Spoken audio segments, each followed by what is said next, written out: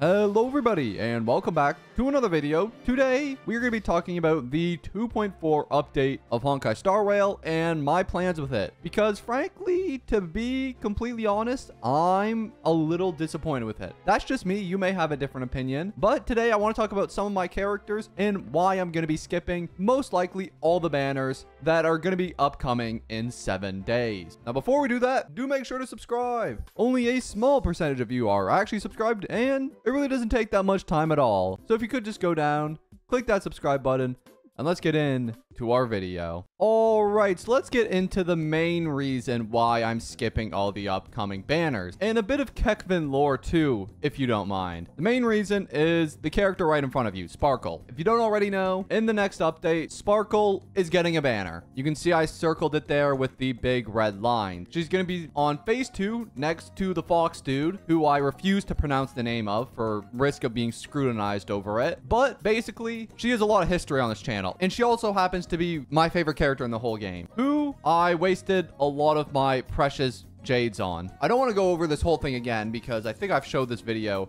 or this clip like about 200 times on my channel. But this video right here, I just wanted one sparkle. I spent legit probably the number of Jades in the thumbnail, which is unusual for my channel. And I quite literally lost every single 50-50. I didn't win one. I lost every single one. It was insane. We lost a 75-25 for her light cone, and then we lost two 50-50s for her. It was bad. Really bad. And I want redemption, so I'm saving every single last Jade I have to get redemption on that banner. Currently, we're sitting at a clean 10,000, but I'm not doing any pulls at all until the sparkle banner releases. Hopefully by then i'll have saved up. I'm hoping somewhere in the realm of 20 to 30k is my goal. Hopefully it's a little more than that but we're gonna see. We're gonna see. Now the other main reason why i'm skipping the two banners is the characters that are on it, of course. Let's talk a bit about them. So I did watch this full version 2.4 live stream, and needless to say, I wasn't a big fan of the two characters. Yunli is basically like Clara,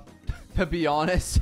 I'm just gonna be completely transparent. It's legit just Clara 2.0. She's the same element. When she gets attacked, she does a follow-up attack on them. It's legit just Clara, but stronger, in, in my opinion. She is obviously stronger than Clara because she's a limited five star, so they had to make her stronger, and they probably want to sell the character, so inherently she probably is going to be better than Clara. And also, I'll be honest, her animations are pretty dope. The huge sword, big hit, I think that's awesome. I love her animations. I think it's funny with the littlest character in the entire game holding the biggest sword, but I just don't feel like she's a character I need on my account, to be completely honest. Like, I have Clara, and Clara essentially does the exact same thing that she does. Same path, same element. Like, I just don't see a reason to get Yunli on my account and waste my chance to get an E6 Sparkle. Okay, that's that's not going to happen, but I, I want to at least get the E2 if I can, please.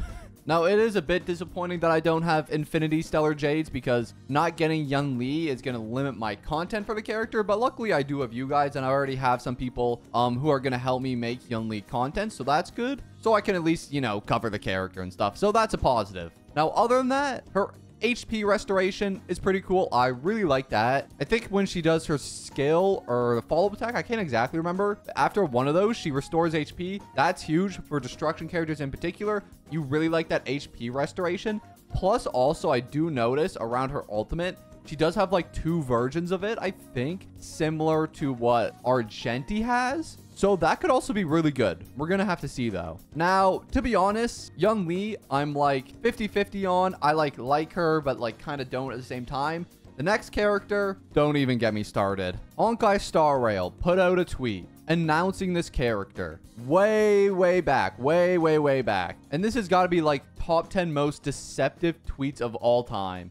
But bro, they literally call him a Foxian healer underline healer. And from what they showed in this footage, I didn't see any healing. I didn't see any healing. Also, a lot of you guys have told me in my comment sections before that apparently he doesn't heal. So I'm pretty certain at this point he's not a healer. Although I can't completely validify that. But from everything I've seen so far, I mean, what's what's the point, guys? Like, he could have been such a cool character. Imagine him on the Nihility only account. Us finally having a sustainer.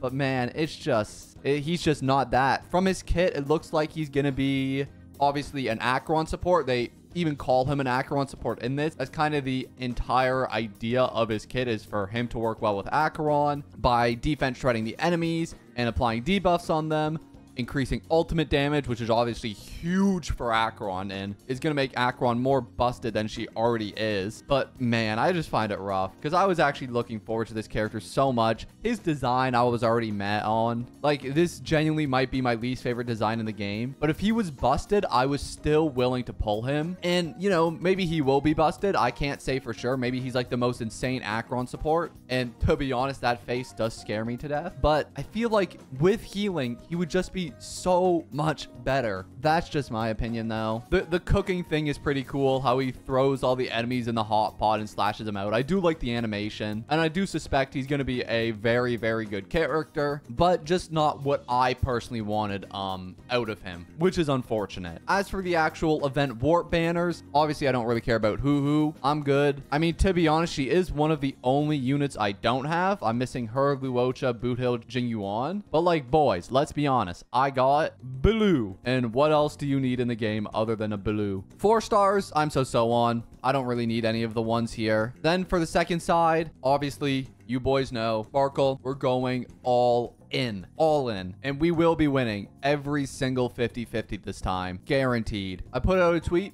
couple days ago. I said if we got 100 likes on this tweet, we would live stream the polls. It's at 98 likes. And who knows, I might be nice. We might be able to round up. But it does look like that we're going to be doing the first ever Kekvin live stream since God knows when. When was my last live stream? Se seven months ago. The first Kekvin live stream in seven months to get E6 Sparkle. I say that, but we will only have 20,000 Jades. But it'll be the most lucky 20,000 Jade you've ever seen. But with that being said, that's going to be all for our video today. I hope you guys enjoyed this little update. Let me know what you guys think of the 2.4 update. Are you looking forward to the characters? Are you not? But anyways, that's going to be all for me. And I'll see you guys in the next one. Peace.